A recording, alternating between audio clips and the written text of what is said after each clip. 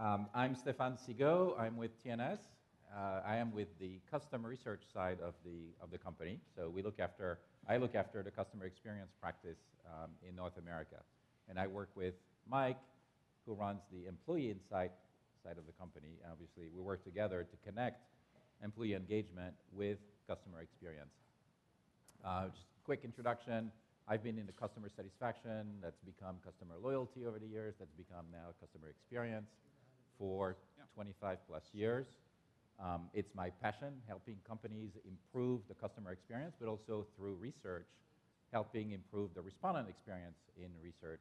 Um, and the, the recent advances in um, you know, moving from customer loyalty to customer experience, a much more holistic approach that takes into account employee engagement is really a big step up um, in that whole space. So I'd like to briefly uh, introduce the concept to you, uh, and then the main part of, of, the presentation is going to be what Mike's going to present on the great results of a benchmarking study that we've launched a few months ago on uh, employee engagement and high performance organizations.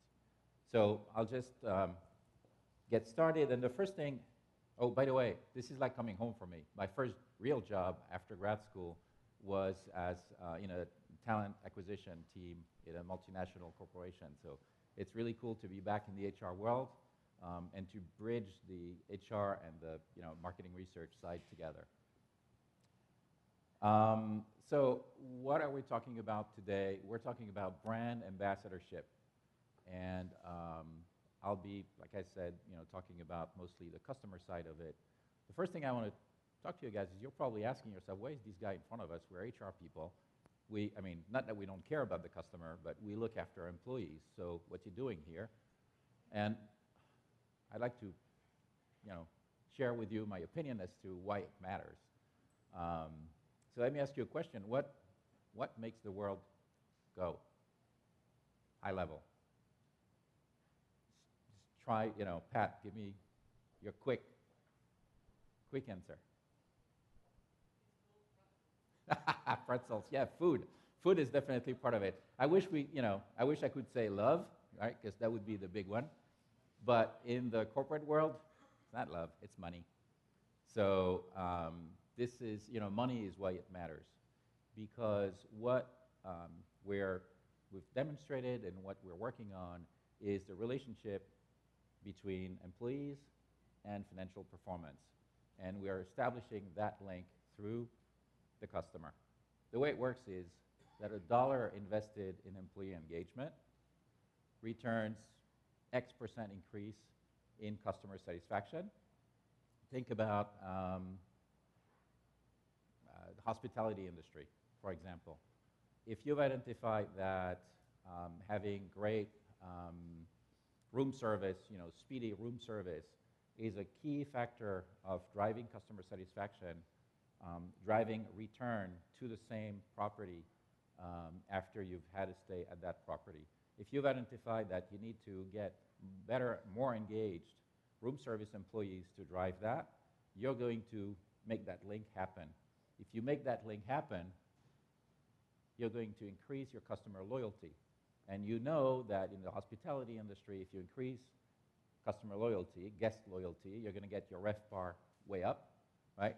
Um, and that's what drives your growth. Whether it's market share, whether you measure it you know, from market share, from revenue, from profit, any way you look at it, this is really the chain, and this is what um, and in fact, there have been a number of studies that have shown that, and one of the most famous ones was um, done um, for Sears years and years ago, was published in the Harvard Business Review, showed that a 5% increase with employees, that's in employee engagement, uh, returned a 0.5% increase in revenue, which, you know, if you're a multinational company, 0.5% of your revenue is gazillion dollars, right? So this is why it should matter, and it should matter to you as well as it matters to marketing people and operations people. Um, the other reason it, it matters to you is because you're in HR, um, I'm in market research, we're all functional people. Functional people have to um, the word. They have to fight for budget dollars, basically. You have to go to the CFO, you have to go to the CEO, and you have to beg for dollars that are very scarce and that typically are destined for sales or production. So we have, you know, we have a small amount of funding, and if we can talk to our executives with that kind of story, that usually makes getting the funding easier. So um, now that I've got your attention and that it matters to you, just want to tell you a little bit about research. I'll spend literally five minutes on it to, to set the stage uh, for Mike to talk about um, the high performance organization model. Maybe. All right. I, I mean, I could, you know, do it signing, but thanks. So customer experience. Um, the first thing is when we look at the customer experience concept, we don't look at it in um, isolation. We believe that it starts with the brand promise. It is also constrained by market dynamics. It's constrained by regulations. It's constrained by the competition, by all kinds of external factors. And it happens within you know, your brand, what your organization has decided your brand is going to be, and those outside factors. Having said that, what do we look at in terms of research? We look at typically three components customer loyalty, transactional satisfaction, and employee engagement. So I'll spend a little bit of time on the, the customer side, and obviously Mike will spend a lot more time on the employee side. We look at that, by the way, within the yin yang of rational and emotional dimensions, right? So when we talk these days about customer satisfaction, it's not all about the product like it used to be. Um, it's not only about the service or the price, as it, you know, that was the evolution from satisfaction to loyalty. We now um, take into account the emotional factors that are at play when people talk about their brands and think about repeating purchases from, from brands. And at the end of the day, if we do it right, if we have the right connections among the components of the system, and then between each component and the company's KPIs, whatever they are, um, so operational performance for transactional SAT, financial performance for loyalty, and organizational performance for employee engagement, that brings you to that equation I showed you before, that you know, if you get $1 uh, invested in employee engagement, that drives higher operational performance, which drives higher customer loyalty, which drives revenues. So that's, that's really the framework um, with components that need to be connected among themselves and connected to KPIs. That's, that's really where it's at these days. Number of companies have, you know, are doing that both on the B2B side. EMC is, you know, is a big data storage company. Um, Starwood is another you know, leader in the hospitality industry. These are companies that uh, drive customer experience from the brand through the employee to the customer with connections to their KPIs, and that's, that's really best in class. What's customer loyalty, the relationship level, um, all about? It's about driving strategy. It's about finding what's important to customers which by the way, we all forget to do a lot of times. We just ask, you know, are you happy with us? Forget to ask them, what's important to you? And are we delivering what's important to you? Right? So it starts with that.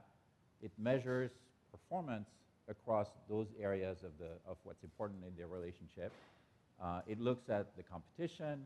It enables you to model loyalty to financial outcomes. In other words, you know, why should we doing should we be doing this? Well, because we know that if we identify the right places to invest, to improve, will drive performance.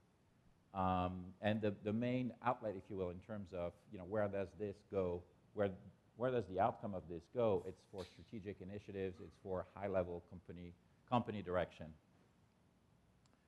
And we, you know, we all use all kinds of um, data visual, visualization techniques to identify drivers of loyalty uh, based on their importance, on their impact on retention, and, and things like that. So I'm not going to go through these charts, uh, but there are lots of ways to um, fine tune, if you will, what you're going to do with the results of studies like that. Transactional satisfaction, transactional feedback, That has to do much more with operational improvement. That's the, the you know, surveys you get um, when you go, for example, to a quick service restaurant. Often you'll get a um, URL uh, printed on your receipt that will drive you to a site to take a survey. It'll be a very quick survey that'll ask, you know, how was the food? How was the service? Was the place clean? You know, will you come back? Will you, will you recommend it to a friend? Stuff like that. So that's transactional SAT. It is as important, even these days, becoming more important than the strategic ones. Companies that are, you know, strapped for funding are tend to move their budgets from the relationship level to the transactional level because with this, you can drive really operational improvement. You can find at retail store level, at restaurant level, at bench, at bank branch level, what to do to improve the service to your customers, to make sure that they don't switch to competitors, to make sure that they bring their friends. Um, and that's, you know, that's also a system to monitor adherence to quality standards and so on and so forth. And that, you know, drives actionable information to operations and line management. So these are the two big components that are on the customer side. Um, this one leverages technology in particular, uh, much more so than the, the first one. You typically have a number of features on um, online platforms. Um, Sharon outlined a few just before. Action planning is, is one of them. Um, but we do a lot of work on social media monitoring and um, text mining and analytics to make sure that it's not all about surveys, which are you know push from the organization to the customers. It's also on the pull side. When people tweet, uh, when people post you know on Facebook that they had a bad interaction at a store they just visited, we're capturing that now and we're blending it with what we're getting through surveys.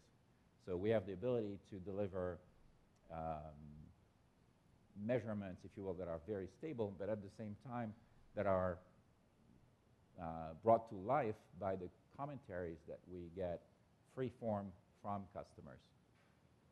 Uh, mobile here is used, Sharon was um, telling you guys about how mobile is used, is leveraged to collect data. Here we're actually pushing data to, for example, in a, in a, uh, a quick service restaurant company, we would push, push reports to district managers when they visit their stores so that when they walk into the store to do their visit, they have the information on that store, where that store compares to the 10 best stores in the organization, and, and so on and so forth. So again, a great deal of um, you know, leveraging technology to disseminate the information um, to the organization, which, as we know, it's not all about a vision, it's also about how you communicate the vision, and that's a great way to do it. Now to employee engagement, I'll just spend a minute on this. Um, you know, the focus here is on the culture. Uh, as Tim said this morning, you know, employees don't join an organization, they join a culture. So we make sure that we have the right research tools to verify that this is, this is properly done. Um, but what we do here is we link um, the, and Mona from UBS was very interested in that this morning, asked a question about this, which is, you know, do you, do you connect your employee research studies, surveys with your customer satisfaction surveys? And this is what, um, what we're doing to make sure that, again, the, the brand infuses all the research in, you know, from the ins to the outs. Uh, we ask employees what's important to customers and vice versa to make sure that we have the ability to whatever action planning we do, whatever implementation we do, impacts both in a way that's, that's aligned. Um, and um, that's, that's about it. Um, and I'm going to pass the baton to Mike. So I'm the juggler here. I'm Mike Schroeder. Um, Stefan wanted to talk about the customer side. I want to go a little bit further and talk about the brand side and the employee side. And there are a number of things that actually prompted us to do this and actually have this meeting. So I'm delighted that you're willing to take uh, a few minutes of your life here to spend it and share it with us so that we can share this information with you. A few years ago, we met with JWT and we were talking about some of their capabilities underneath this umbrella company that we work for, which is known as WPP. And we realized that there's some connections between what JWT is doing on communicating, you know, what's important to employees either pre-hire or after hire. And we also realize there's also some additional connections with other work that we do within WPP. One particular group is called Millward Brown. Millward Brown as an organization is specialist in the world of brands. And there's a new book that's out, and I brought a copy with me, and this is probably the easiest book title you'll ever see. Um, but basically, a book about growth. And grow, as an overall theme behind it, is a study of brands. And over the last 10 years, which brands have grown the most? And there's some interesting statistics in here that Jim talks about. And he studied a variety of different organizations from a marketing and a market research perspective, but recognized that the companies that grew the most outpaced the S&P by 400 percent and it was all driven based upon the brand. So as we were talking earlier this morning, it starts with an idea. Oftentimes ideas then convert into the start of a company. And then those companies create cultures and other things. So in his study about brands, he's looking at what is it that brings it together. And we're going to take that information and bring it into the world of employee research and also weave it in with some recent study and information that we've collected in the last couple of months.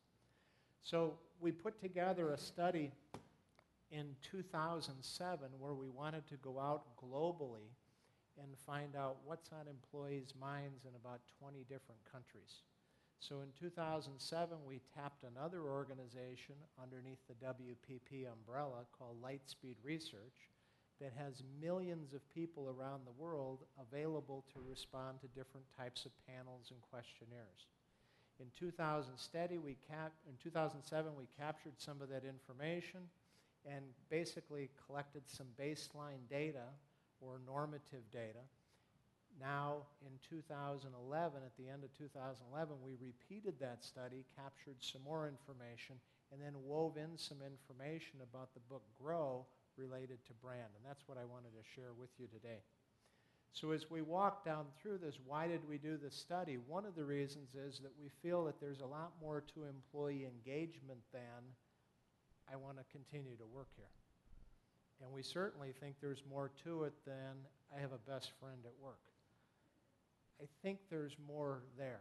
And I think as organizations begin to mature and start thinking about employee engagement at different levels, you're going to be able to see this come alive within your organization. So our job is to go out and do some of this research, see what we can learn, and then bring that forward to you, share it with you in this early day stages so that you can see what we're seeing and maybe give us some additional ideas of what's happening within your organizations. Secondly, we definitely feel that there's a link between employee engagement and the company that they're working for, and that comes very clear in the book what is it that is the ideal within the organization that you're looking for. Um, Patty had talked about United Technologies and one division within it is Pratt and Whitney. And if you've ever met a Pratt and Whitney rocket engineer standing on a tarmac watching the jets fly over, you'll see that there's a lot more to it than them just working for United Technologies. They're in it because they want to be in it. Same thing with a nurse. Same thing with a school teacher. There's something that draws people to certain particular fields. And that also holds true with certain brands. The third question that we have, because it's hard to tease out of employee survey data, is are there top performers out there that are operating at maybe a different level, skill level within their organization, and do they then bring a different level of engagement to the organization and have kind of a different mindset. So we, we were curious and we wanted to get some information out. So we rolled out a study late in the year and it went to field uh, right around the end of the year and came out of field right around the 1st, around January 1st or 2nd. And basically we went out to 21 countries, about 17,000 people. And this is kind of a repeat of what we did in 2007, but we added some additional information to it. And it's across many different segments and performance levels. We even captured past employment experience. So it's an interesting study. I think it's got a lot of nuances in it that most studies don't contain. But as we were going through this, we also wanted to track some information that we collected in 07. We take that information and we blend it in with our current database because we survey a million plus employees every year within TNS, so we're able to continue to add to that current normative database around the world. But in the study, these are the various countries that we included that are in pink. So we did not pick up um, various countries in Africa or the Middle East, but you can see we've got a pretty good representation across other parts of the world. What we're finding in looking back at 2007 is overall employee engagement is up. It's up about four points from 2007. So before the recession and now some would argue still in it, maybe others would argue maybe a little bit post, overall we're starting to see a bit of an upward tick, which is good for organizations. Where we're seeing a bit of a downward tick would be in those areas. Management support equality. That was much higher in 2007 than what you'd see today. And it can be broken down into a couple of key areas. Training to do a quality job. What's one of the first budgets to get snipped? Yeah, exactly. And so employees are responding that way as well. We're, they're also seeing is clarity of job responsibilities, because what's another thing that tends to go down when you start to reduce staff? people, and then you start to consolidate skill sets and requirements of the job. So those areas we're seeing a downward trend on, where overall employee engagement we're seeing an upward trend. We have lots more to do to, to kind of uncover some more pieces of our study related to that, but those are some of the early findings. From there, we wanted to look at the data set in a different way than you typically would. So we just didn't want to go in and look at, okay, what's employee engagement tell us? We wanted to actually create what you can kind of in your mind think of as three different demographic groups. One is, is there a difference between how high-performing organizations employees respond compared to low-performing organizations? And then secondly, employees that are engaged or those that are disengaged, is there a difference in how they respond?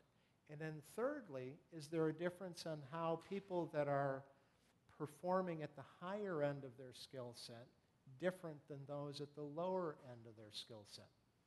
So each of these we've set up as different demographics and we were able to categorize the data by how people responded to a very variety of questions that related to each. And so I would like to take you through that overall process and some of the things that we found.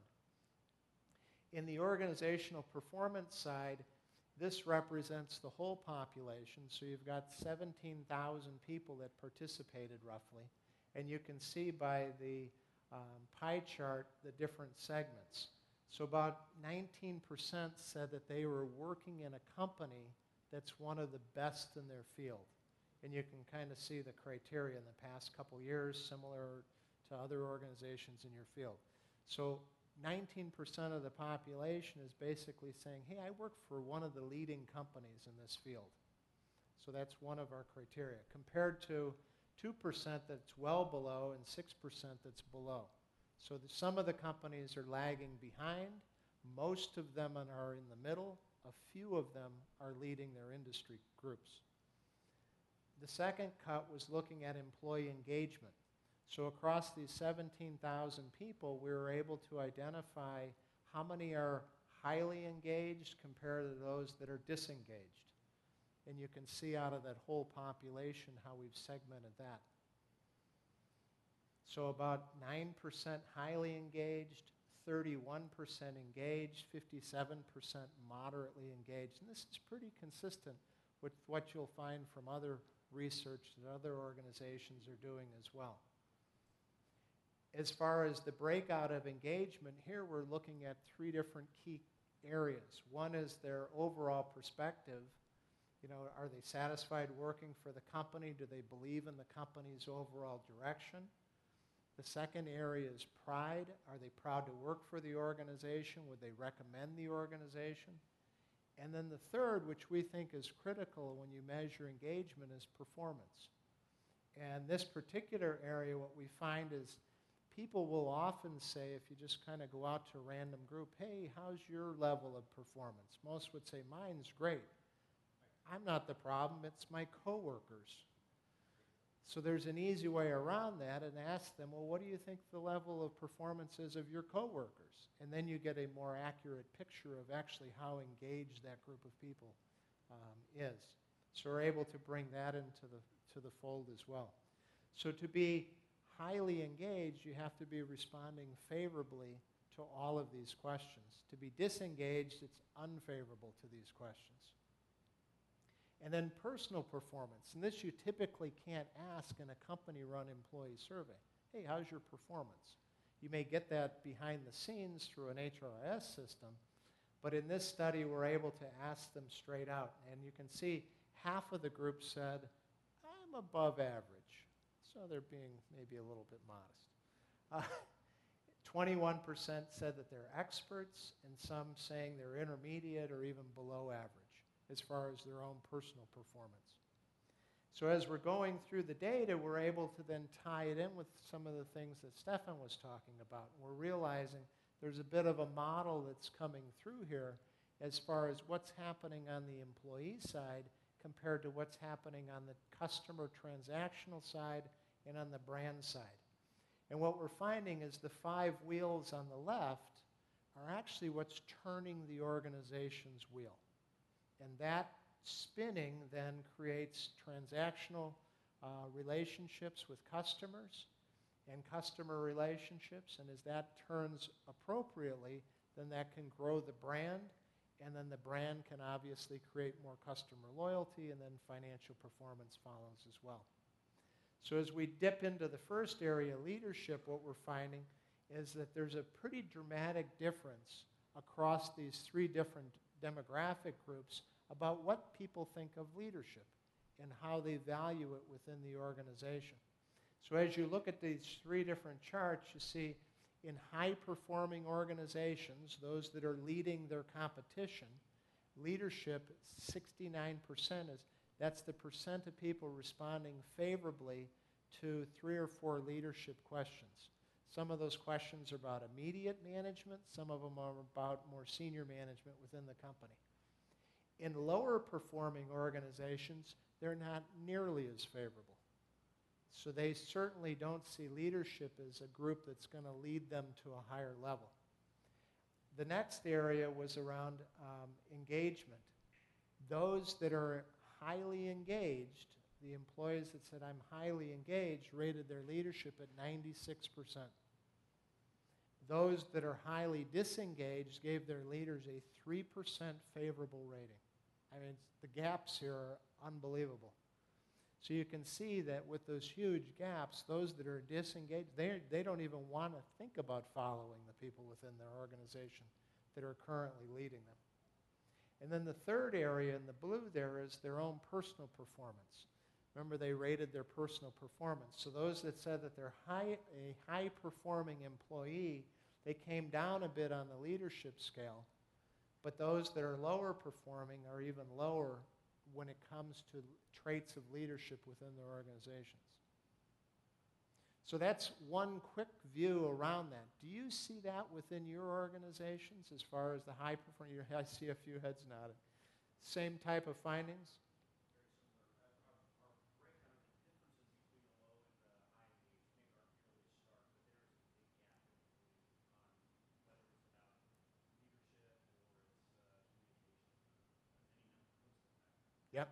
And we're seeing the same thing. And uh, leadership obviously is something that's often measured in employee surveys, especially immediate supervisor.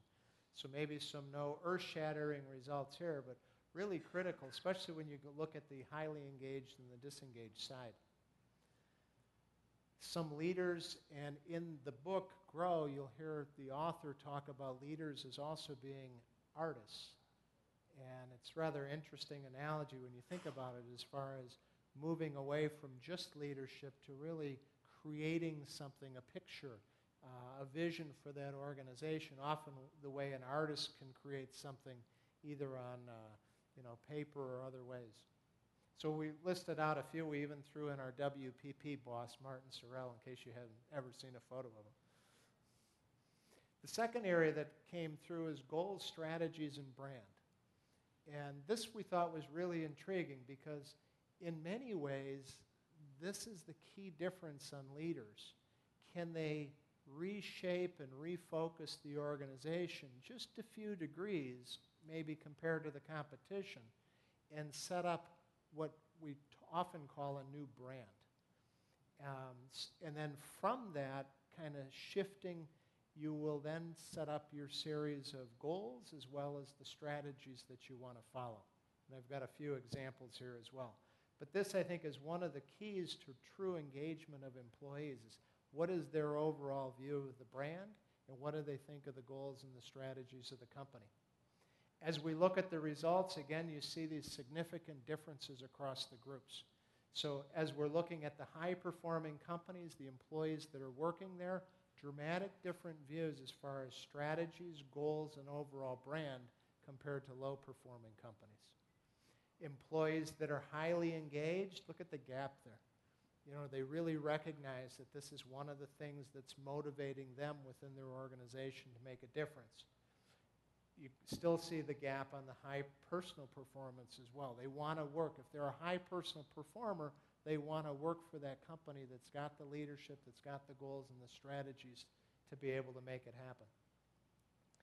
Here's a couple of quick examples, and this is, goes back to the strategic thinking. Both of these happen to be hometown companies. We're from Chicago, so bringing in a little bit of Chicago light here. Groupon, anybody a Groupon user here? About half of the group. All right, the rest are coming your way when Groupon started, there were probably two, three, four hundred marketing companies in Chicago, maybe a thousand in the US, maybe 10,000 in the world. Why did that company grow so quickly? Anybody? Pardon me? Mobile. It's mobile. Others? especially those Groupon users that are out there?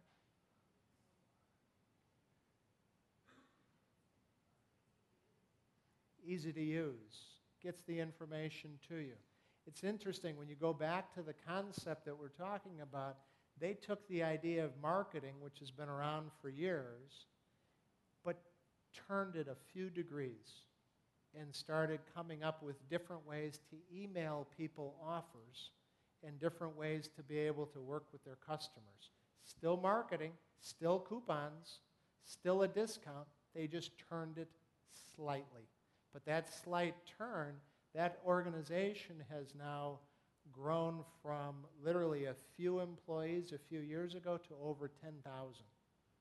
And obviously, um, been through an IPO as well and going through that entire growth process.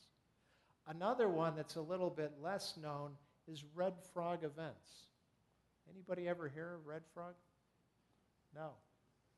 It's an interesting organization. Anybody here ever running a triathlon?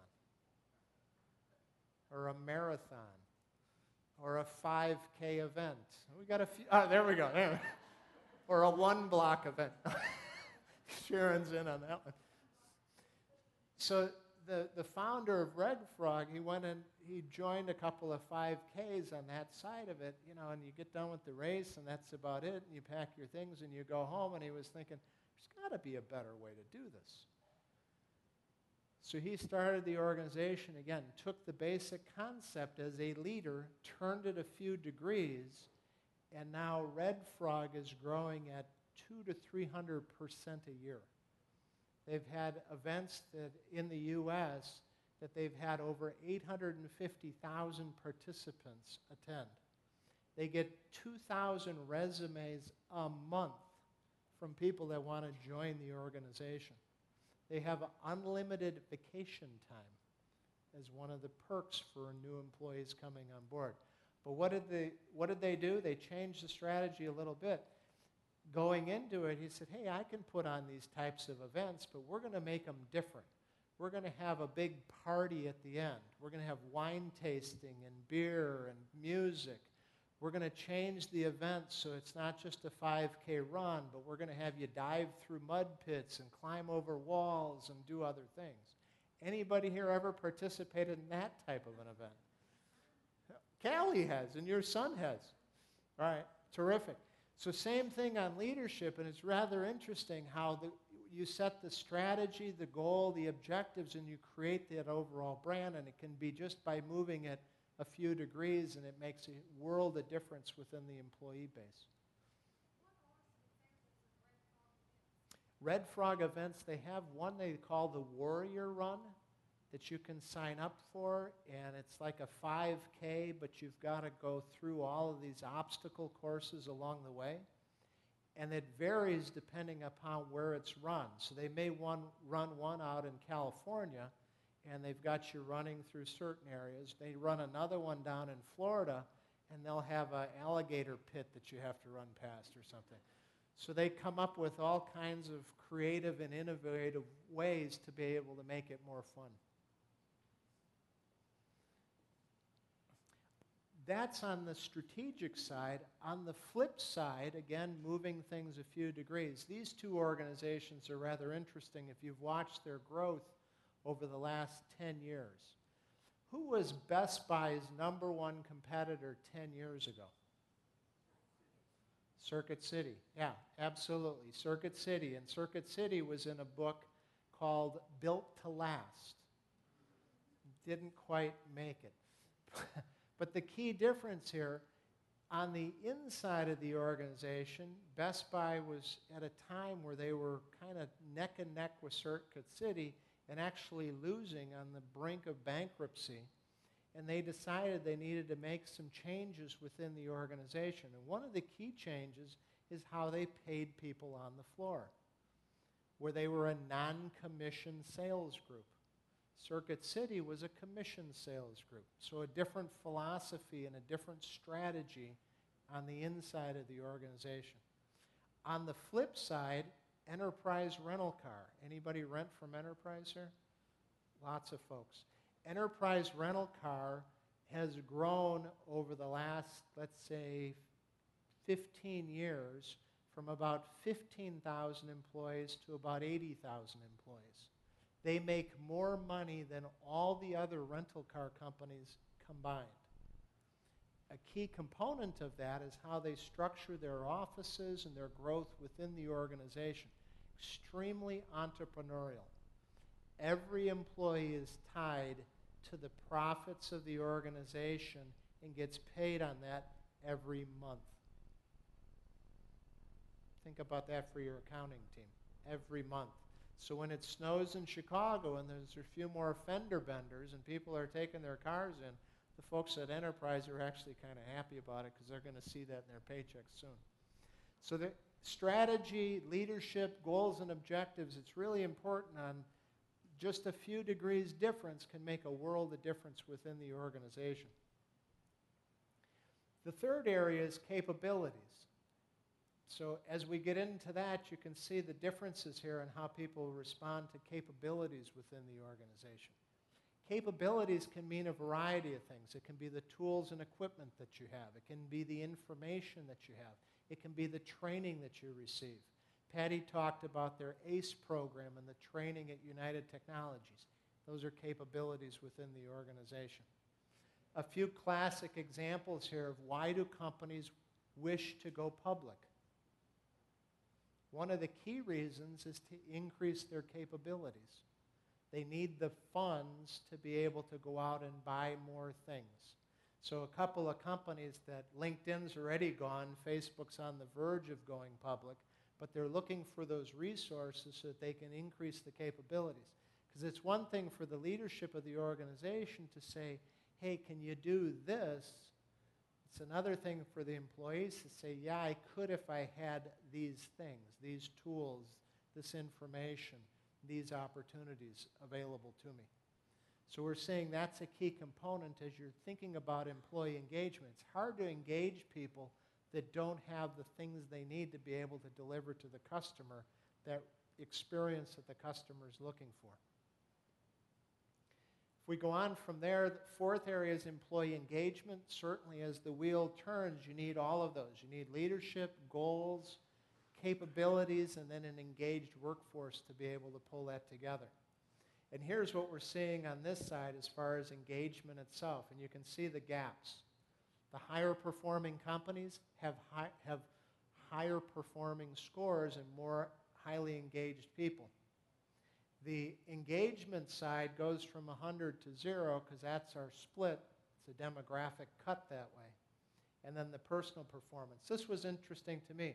Those that are higher performers typically higher engagement scores, 70% compared to 20%. So it's a classic. If you have low performing employees within your organization, most likely those are also your most disengaged people. And something that you've got to wrestle with as far as how do you deal with that within the organization. If we take a look at engagement by organizational performance, this is kind of intriguing. So on the left-hand side, you have your highly high-performing organizations, and you can kind of see the bars that show, well, how many of them are highly engaged? Not all of them. How many of them are engaged? How many are moderately engaged? How many are disengaged? That's the group on the left. So very few disengaged employees in what this group said was their level of performance. But see how that changes as you move to the center and then to the right? Where all of a sudden, in the average organization, you see a decline in the number of highly engaged or engaged employees. It's an interesting way to look at your data, and it's something that you may want to think about doing within your own organization. You know, if you're running a hotel group or you're running retail stores or other types of segments, take a look at the high performing compared to the low, lay it out in this fashion, see if you see similar types of trends. Again, the challenge is what do you do with those moderately engaged and disengaged employees? They're actually holding the group back. And how do you deal with that as a you know, organization as a whole? If we go from there, the next piece that we found and kind of discovered along the way is this concept of brand ambassador. You know, if you have this highly engaged employee, are they more likely to be an ambassador of your brand? You'd like to think that they would, because that then ties back to what Stephan was saying about the customer experience. So are they going to respond more favorably about the organization? Are they going to deliver at a higher level, you know, when they're in those situations with customers, whether internal customers or external? So as we moved there, we took a look at the data as well and note the differences. Again, it's dramatic. The higher performing companies have more people that respond much more favorably to brand ambassador questions. And those questions are about individual people, work groups, support from the supervisor, receiving training, across the board more favorable. More highly engaged employees, much more favorable about being a brand ambassador to the organization. And then on the other side, the high performing employees are also responding that way. So consistency across that group. How many of you ever walked into a kind of a service organization, maybe fast food or hotel or retailer, and the employee was the furthest thing from a brand ambassador? we've, all, we've all been through that, absolutely. Um, and there's all kinds of examples out there. I wanted to pull up a couple here. Um, one specific one about Southwest Airlines. Anybody here fly Southwest? Have you noticed the difference when you're on Southwest compared to other airlines? The selection, the way they bring people on board, the way they train them. Completely different culture which creates then a completely different brand experience. So we've got a little video that we want to show to you, but to make this come alive, you've got to work with us through this. He's going to give you some instructions. Think of yourselves as being in the front row. All right, you ready? Hit it. Good evening, folks. Welcome aboard Southwest Airlines Flight 372, service to Oklahoma City. Those of you that have flown us before know that we do things a little bit differently here on Southwest. Some of us tell jokes, some of us sing, some of us just stand there and look beautiful. I, unfortunately, can do none of those. So here's the one thing that I do know how to do. We're going to shake things up a little bit. I need a little audience participation. Otherwise, this is not going to go over well at all. Is this your cue? So here's what I need, especially you guys in the front because you know what's coming. All right, I need a beat. All right. All I need you to do is stomp and clap, and I'm going to do the rest because I just I've had five flights today, and I just cannot do the regular boring announcement again. Otherwise, I'm going to put myself to sleep. So, you guys with me? All right. So give me a stomp, clap, stomp, All right, let's go. clap. Come on, stomp, clap, stomp, clap. Stay on beat there. There you go. Keep that going. This is Flight 372 on SWA. The flight attendants on board serving you today. Teresa in the middle, David in the back. My name is David, and I'm here to tell you that shortly after takeoff, first things first, there's soft drinks and coffee to quench your thirst. But if you want another kind of drink, then just holler. Alcoholic beverages will be four dollars. If a Monster Energy drink is your plan, that'll be three dollars, and you get the whole can. We won't take your cash, you gotta pay with plastic. If you have a coupon, then that's fantastic. We know you're ready to get to new places. Open up the bins, put away your suitcases. Carry on items, go under the seat in front of you, so none of you have things by your feet.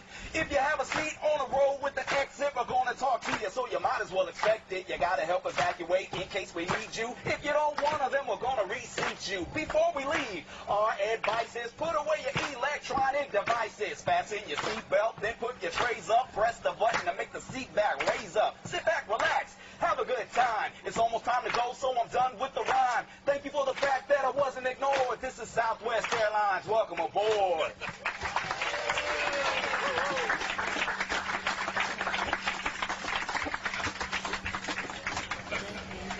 Thank you very much for my beat. I appreciate that. You will not get that on United Airlines, I guarantee. Ouch. But you can see, you know, an engaged employee, what a difference. He said that was the fifth time he was going to do that that day, let alone that week. And, you know, to keep the energy, to get the customers there, to get that reaction from the customers, because that's a point of transaction, which is critical, but he's not going to get there if he's not engaged employee. It's really interesting talking with Southwest pilots, talking with Southwest um, customer service people. They are at a different level compared to their competition. Their financial performance is showing that. Their growth is showing that. Their customer SAT scores are showing that. It's across the board. So that I thought was a great example. We wanted to bring that in because to us, that's where it needs to go. It needs to go beyond engagement to that level of brand ambassador to be able to really make it link together. The other piece that we wanted to look at was, is there a link over to the other side, on the customer side? So in the same study of 17,000 people, we were asking them, hey, what do the customers think about your products and services? And here are the findings that we're seeing. Again, dramatic differences. The companies that are doing better, much higher scores on what they think the customers think of their organization. Those that are more highly engaged, much higher. Those that are performing at a higher level, much higher. So dramatic difference there in link. We also asked the people, what companies do you work for? And so on the top, there were some of the companies that they work for, the high-performing organizations, and some of those I'm sure you'd recognize. Some of the lower performing companies who are also struggling.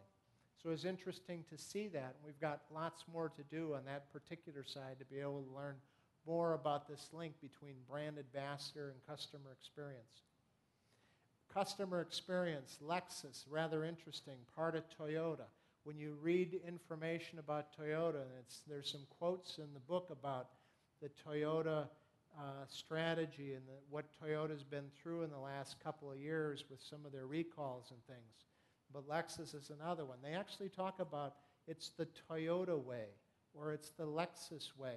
So they've taken this concept of a brand all the way to the level of, of using those terms as people talk within the organization.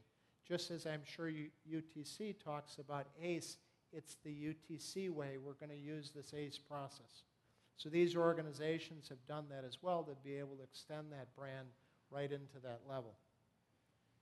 So as we kind of wrap it all up, we're seeing those five wheels on the left-hand side important for turning that organization and creating that customer experience, which happens on the right.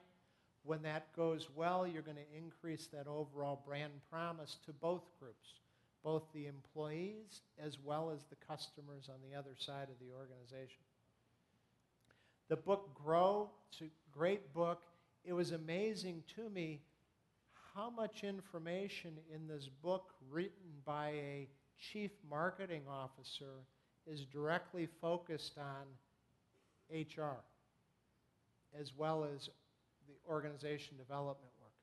And to me, this is probably working at the highest level of OD.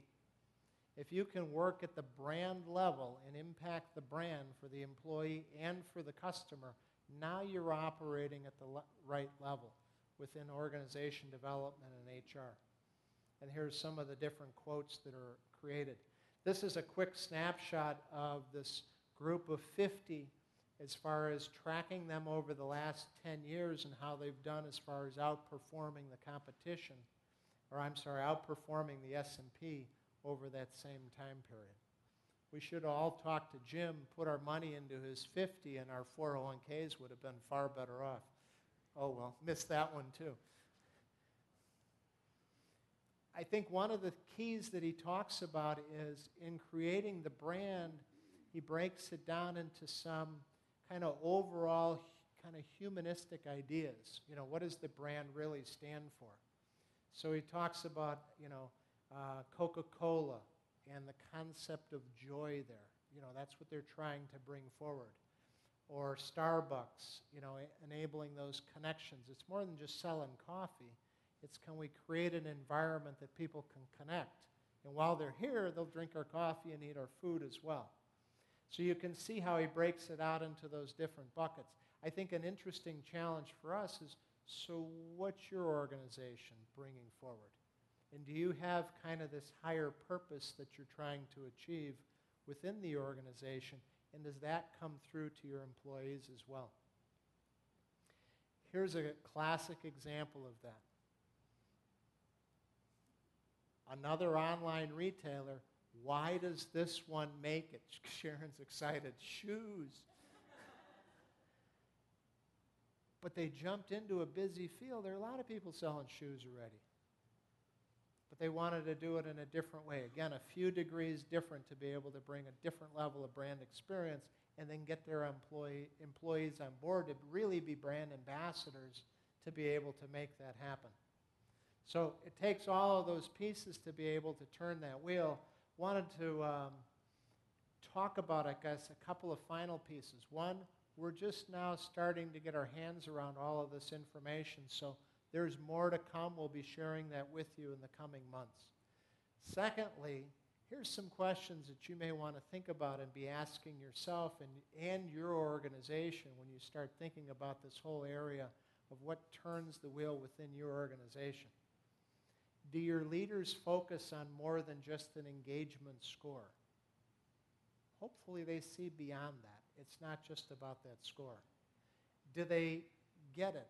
Do your leaders understand the link between what it is that they're doing, strategy, being a few degrees different, and then moving that across as far as capabilities and engaging their people and getting them that to that level of being true brand ambassadors.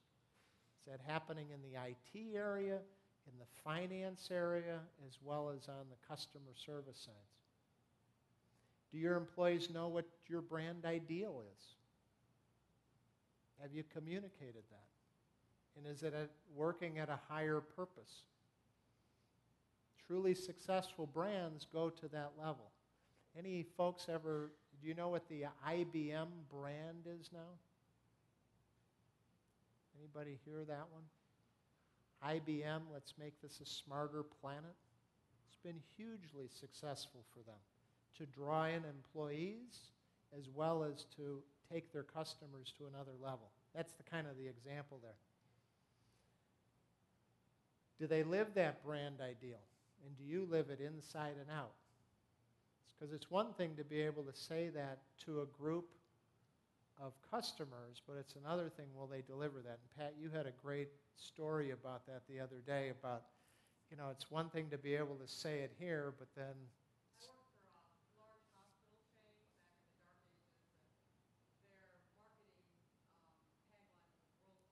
dark ages, and their marketing um, tagline was world-class. It was a research institution, a research hospital. And uh, so it was this world-class hospital, and the um, drinking fountain talk was world-class my ass.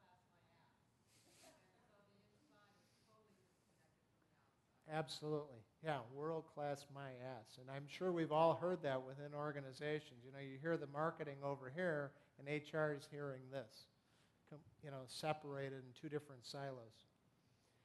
Do your employees know the brand promise?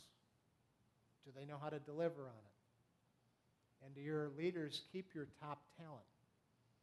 As obviously as we're seeing, top talent's critical for organizations, and are you hanging on to that top talent? And now as the economy starts to pick up, it may be even more difficult to hang on to them because more opportunities may open up for them. So that's what we wanted to share with you. Obviously, lots to come. We'll stay in touch with you and give you more information and more highlights about the information that we've collected, but hopefully we've uh, given you a few extra ideas here during our session. So thank you.